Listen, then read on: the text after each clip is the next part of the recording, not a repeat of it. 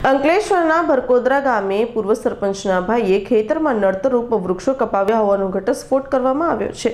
વૃક્ષ કાપવાની મંજૂરી ન લીધી હોવા છતાં પણ વિશ્વ પર્યાવરણ દિવસ નિમિત્તે ખેડૂતોને ખબર નથી અને વૃક્ષો કપાયા હોવાનું બહાર આવ્યું છે.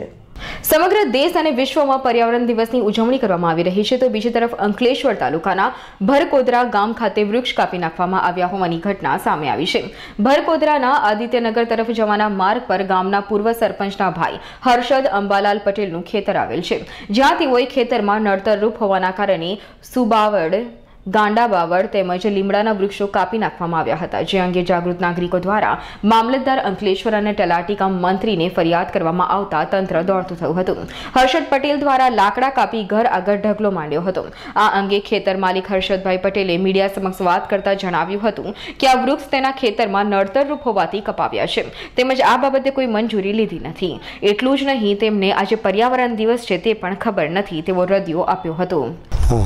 આ આ ખે આ ખેતરનો સર્વે નંબર બસો ચૌદ છે અને મારી માલિકીનું છે. અને એમાં ઝાડ મને નડતર ઉપડતા ખેતીના કામમાં મને નડતર ઉપડતા એટલે એ માટે અમે કપાવ્યા છે.